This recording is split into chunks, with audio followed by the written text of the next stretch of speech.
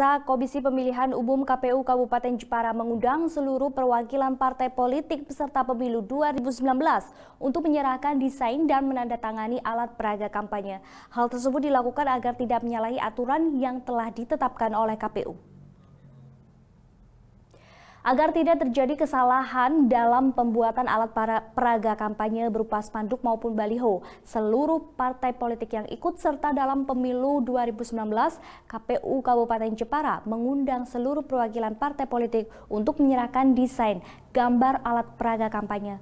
Sesuai kesepakatan ukuran baliho yang diperbolehkan adalah 3,5 kali 2 meter dan untuk spanduk berukuran 5 kali 1 meter. Sedangkan untuk pemasangan APK Parpol diperbolehkan memasang hingga sebanyak 5 baliho dan 10 spanduk untuk tiap desa atau kelurahan.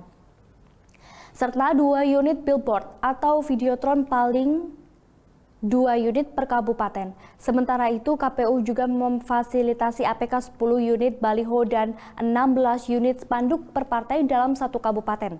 Selain itu juga KPU mengingatkan kepada seluruh partai politik tidak melanggar aturan penempatan alat peraga kampanye.